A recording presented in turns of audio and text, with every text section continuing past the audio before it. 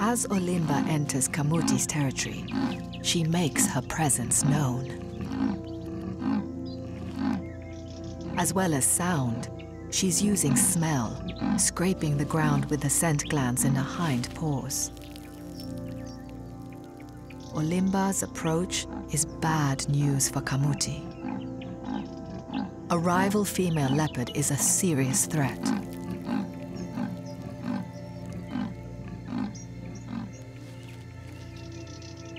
Kamuti has held her hunting grounds for more than 10 years. But that could be about to change.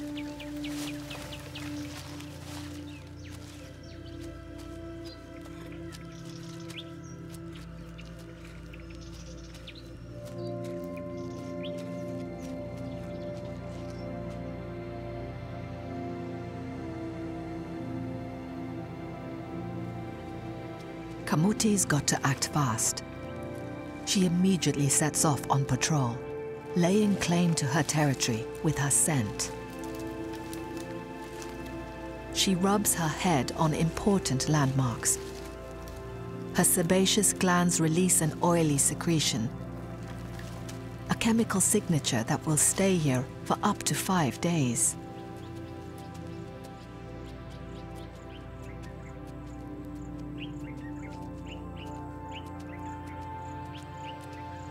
This is an important spot for Kamuti. It's her favorite lookout.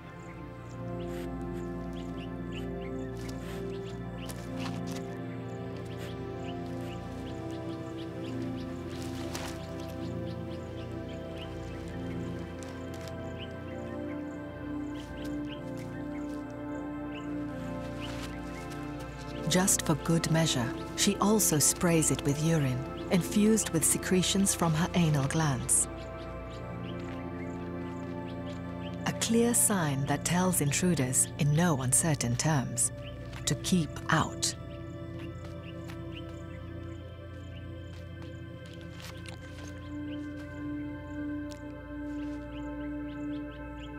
Kamuti must hold on to her territory.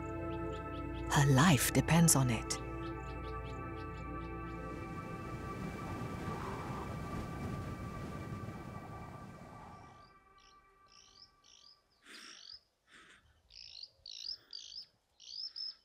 Olimba, the young contender, is now inside Kamuti's territory and is making herself very much at home.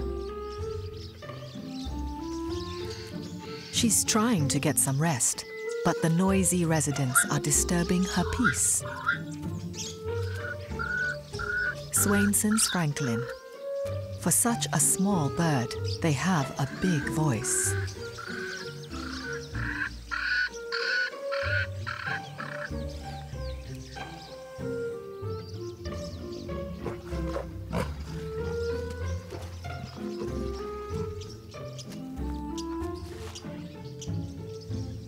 Olimba's not impressed.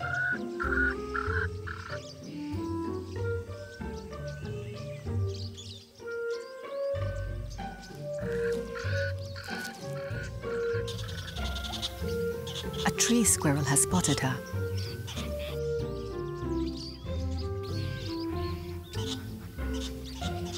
It's the final straw. She gives up any idea of sleep and moves on.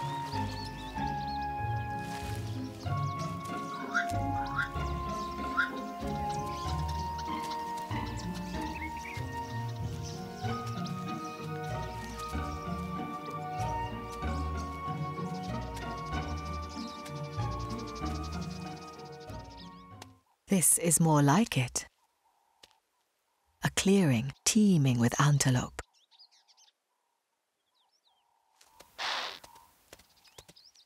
It's just the hunting ground that Olimba needs.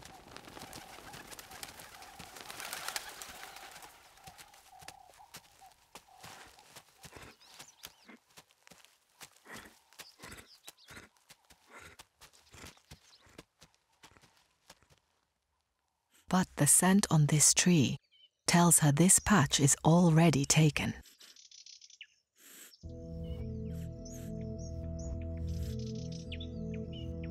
It's one of the trees that Kamuti marked.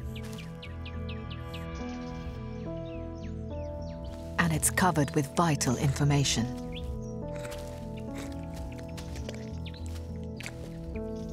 Just by smelling her scent, Olimba can tell that Kamuti is female, elderly, and was here very recently.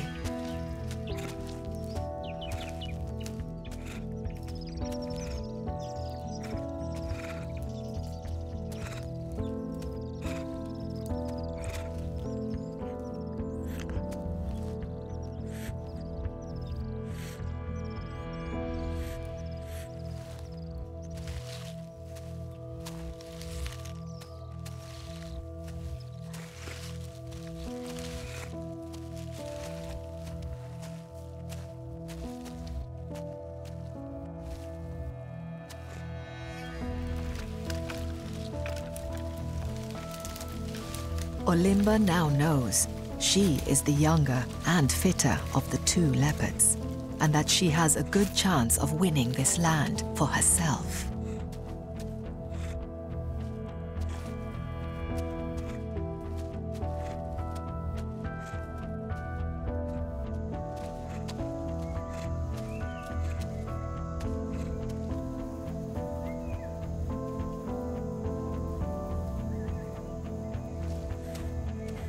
There's further proof that this territory belongs to someone else. She's found Kamuti's larder.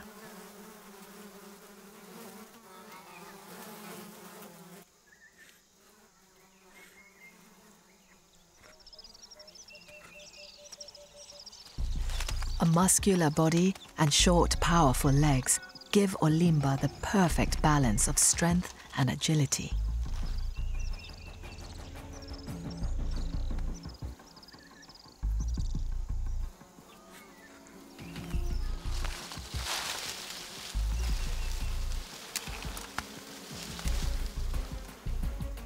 A dead puku. Leopards have been known to drag carcasses three times their weight into a tree.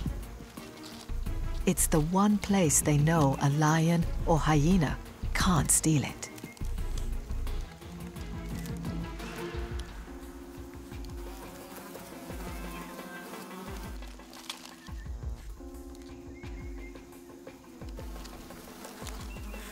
But instead of eating the puku, she only sniffs it.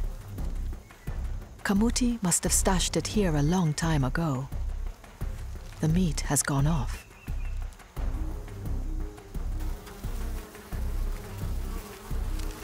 Olimba may be hungry, but she's not desperate enough to eat rancid meat.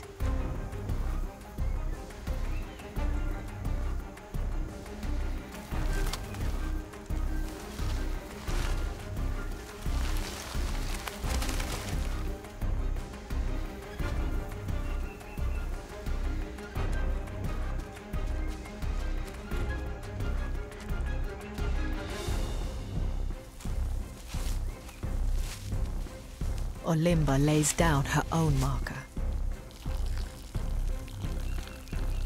It's a clear message for Kamuti and a declaration of war.